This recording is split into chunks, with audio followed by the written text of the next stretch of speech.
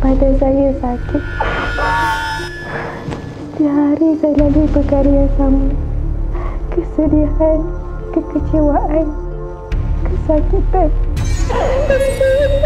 Saya menangis fikirkan diri saya. Masih ada lagi ke harapan untuk saya. Kanser payudara menyerang fizikal dan mental saya. Ianya sangat menyakitkan saya. Sakit yang membuatkan saya membayangkan kematian. Kalaulah saya sedari simptom-simptom kanser payudara ini dari awal, mungkin nasib saya tak macam ni. Mungkin saya masih boleh sembuh.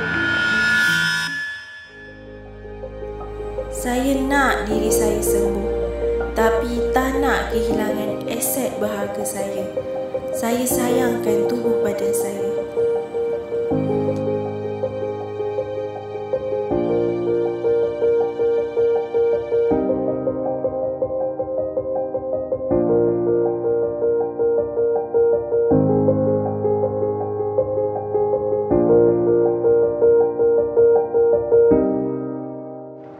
Alhamdulillah, takdir telah menemukan saya dengan Ibu Sina Wellness. Di sinilah saya menemui solusi kepada kanser yang saya hidapi. Saya yakin dengan rawatan di sini kerana ianya tanpa bedah, tanpa kimia, tanpa radiasi.